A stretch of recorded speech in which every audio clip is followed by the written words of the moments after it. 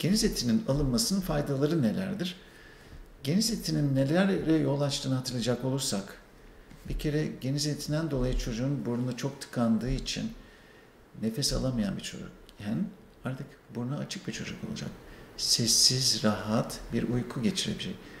Daha önce her gece habire terleyen, huzursuz uyan, dönüp dönüp e, uyumaya çalışan, sık uyanan, sabahları zor kalkan, gündüzleri huzursuz olan o çocuk gidecek. Artık gece yattı mı sabaha kadar hiç uyanmayan, sessizce uyuyabilen bir çocuk gelebilecek. Gündüzleri daha parlak olacak o çocuk. Çünkü uykusu almış bir çocuk olacak.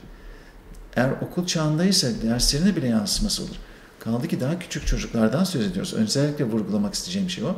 2 yaşında, 3 yaşındaki çocuklarda daha önemli. Çünkü o çocukları tam her şeyi algıladıkları bir zamanda algıları daha körlenmişken, çünkü iyi uyuyamamışken artık daha açık, daha parlak, cin gibi çocuklara dönüşebileceklerdir.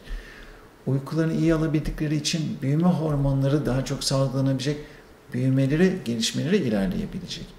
Bu çocuklar bazı hastalıkları çok sık geçirirken o hastalık sıklığında ki bu hastalıklar üst solunum yolu enfeksiyonları, orta kulak iltihapları, sinüzitler bu hastalıkların sıklığında çok önemli bir azalma olacak. E, bence bu kadar da önemli faydalar arasında sayılmalı.